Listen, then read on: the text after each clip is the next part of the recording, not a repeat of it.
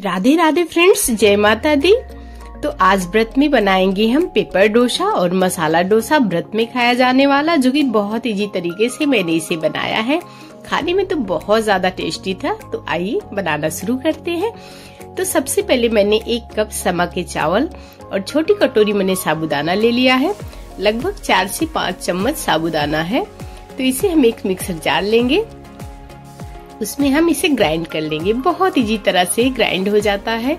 बिल्कुल बिना किसी तामझाम के तो सबसे पहले साबुदाना डाल देंगे। लगभग चार से पाँच चम्मच है और यहाँ पे एक कप समा के चावल। तो इसे हम पीस लेंगे। तो देखिए कितना बढ़िया पीस कर तैयार हो गया है। बहुत इजी तरीके से आटा जैसा बन जाता है दरदरा सा। अब इसे हम एक बड़े मिक्सर जार में ट्रांसफ़र कर लेंगे, क्योंकि वो छोटा सा मिक्सर जार था।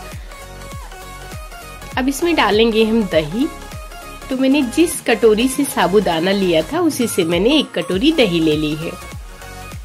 दही डालेंगे और स्वाद अनुसार नमक डालेंगे।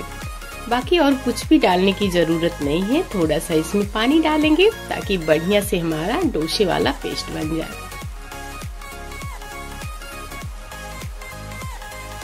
तो देखिए, पेस्ट बहुत ही बढ़िया बनकर रेडी हो गया है। थोड़ा ज़्यादा गाढ़ा है तो थोड़ा सा पानी और इसे मिलाएँगे और एकदम दो से जैसा बैटर तैयार कर लेंगे। थोड़ा सा पानी, लगभग दो से तीन चम्मच के करीब मैंने मिलाया हुआ है।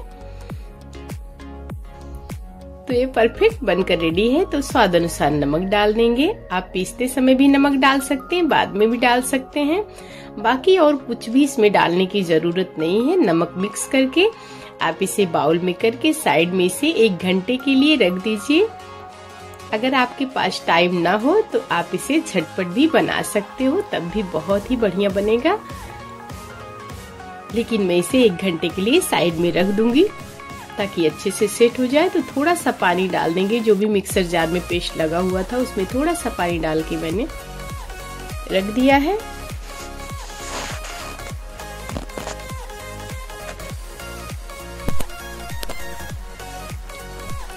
अब चलो आलू का मसाला बना लेते हैं।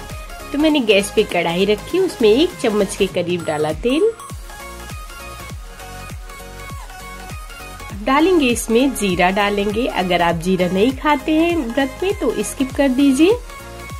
और यहाँ पे डालेंगे बारीक कटी हुई हरी मिर्च। उसके बाद डालेंगे करी पत्ता और अदरक। डालेंगे कद्दूकस किया हुआ। इसे थोड़ा सा भून लेंगे। जब तक इसमें अच्छी सी खुशबू नहीं आ जाती, इसको बहुत अच्छी तरीके से हम धीमी आँच पे भूनेंगे। ये बहुत ही टेस्टी आलू का मसाला बनता है।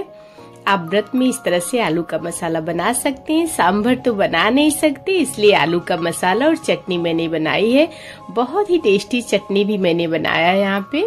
दोसी के साथ खाने के लिए तो उबले हुए आलू मैंने अच्छे से छील के कट कर लिए थे तो उसे भी डाल देंगे और इसे दो से तीन मिनट के लिए भून लेंगे। बहुत ही बढ़िया कलर आएगा इसमें। जब आप धीमी आँच पे आलू को भूनेंगे। आप इस तरह से व्रत में भी आलू पूरी के साथ खा सकते हैं। आलू की सब्ज़ी बना के, पूरी सिंघारे की पूरी या कट्टू के आटे की, साबुदाने की, जिसका भी आपका मन करे, आप पूरी के साथ इसे एंजॉय कर सकते हैं। तो इसे हम धीमी आँच पे दो से तीन मिनट के लिए भुनेंगे तो आप देख सकते हैं कितना बढ़िया कलर आया। एकदम सोधी कलर हमारी आलू बनकर रेडी हो गई है। तो अभी लाइट चली गई थी तो थोड़ा कलर में दिक्कत थी तो लाइट आ गई है तो बहुत ही अच्छी तरह से दिख रहा है। तो देखिए, आलू के मसाले बनकर रेडी हो गए तो इसे साइड में रख देते हैं। थोड़ा सा नमक डालेंगे और इसे मिक्स करेंगे।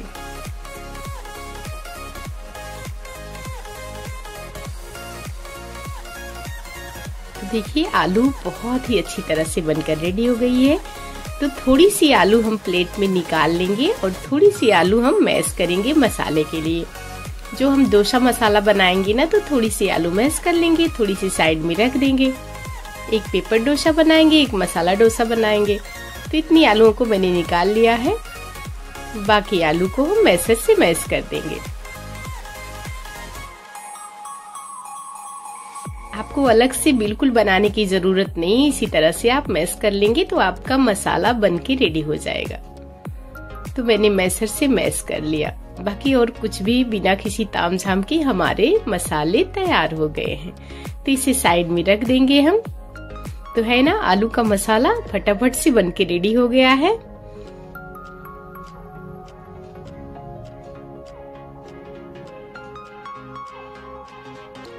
तो इसे भी हम साइड में रख देते हैं। अब अपनी बहुत ही टेस्टी सी चटनी बना लेते हैं डोसे के साथ खाने के लिए। तो यहाँ पे मैंने हरी धनिया ली है, जिसे मैंने अच्छे से धुल लिया था। उसके बाद डालेंगे तीन से चार हरी मिर्च ये बहुत तीखी नहीं है। थोड़ा सा एक इंच अदरक का टुकड़ा और दो से तीन चम्मच दही। आप दही ज़रूर डालिएगा, बहुत टेस्टी चटनी बनती है। थोड़ी सी मूंगफली के दाने उसके छिलके मैंने उतार लिए थे। अब इसमें डालेंगे स्वाद अनुसार नमक डालेंगे। उसके बाद इसमें नींबू का रस डालेंगे। अगर आप नींबू का रस नहीं डालना चाहते तो मत डालिए, वैसे भी बहुत टेस्टी बनेगी। अब इसे ग्राइंड कर लेते हैं। तो चटनी हमारी बनकर रेडी हो गई है। डोसे के साथ खाने के लिए आप किसी भी पूरी पराठे के साथ, कटलेट के साथ आप खा सकते हैं। आप साबुदाने की कटलेट बनाइए, बहुत ही टेस्टी उसके साथ भी लगेगी। तो इस तरह से आप व्रत की चटनी बना सकते हो। तो इसे साइड में रख देंगे। चटनी हमारी बनकर रेडी हो गई है। तो अब हम डोसा बनाने की तैयारी करते हैं। ये चटनी आप फ्रिज में स्टोर भी कर सकते हो। तो गैस पे मैंने तवे को रख दिया है। अब इस पे थोड़ा सा तेल डालेंगे। लगभग आधा चम्मच से कम ही तेल डालेंगे और टिश्यू पेपर से अच्छे से इसे ग्रीस कर देंगे।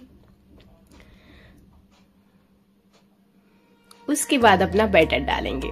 तो मैंने दाल वाली जो कलछी होती नहीं, उसी को मैंने लिया है। दो कलछी मैंने डाला है और एक ही डायरेक्शन में मैंने इसे चला दिया है। थोड़ा सा बड़ा ही डोसा बनाएँगे। डोसा तो सभी को पसंद होता है तो आप व्रत में ये डोसा ज़रूर बनाइए, आपको बहुत ज़्यादा पसंद आएगा। लगभग 10 से 12 मिनट लगते हैं रेसिपी बनाने में, पर अमेजिंग बहुत ही टेस्टी बनती है। आपको मज़ा आ जाएगा बना के तो थोड़ा सा ऊपर से देसी घी डाल देंगे, और इसे धीमी आँच पे पकने देंगे।